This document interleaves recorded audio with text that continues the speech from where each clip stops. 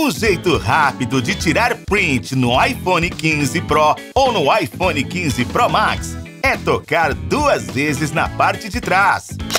É isso! A imagem será salva no aplicativo de fotos.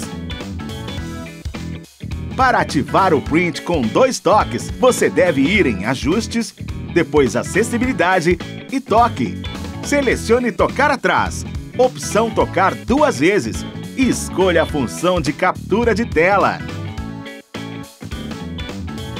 Caso não dê certo, você pode tentar da maneira mais tradicional.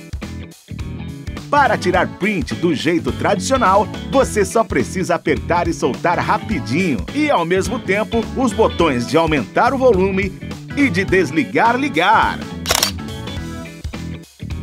Lembre-se sempre de apertar e soltar rapidamente os botões.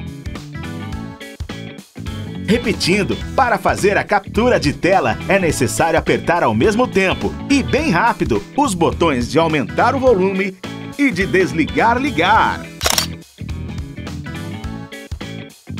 Foi aí? Então comenta qual método você gostou mais e não se esqueça de se inscrever e ver mais vídeos curtos aqui no canal.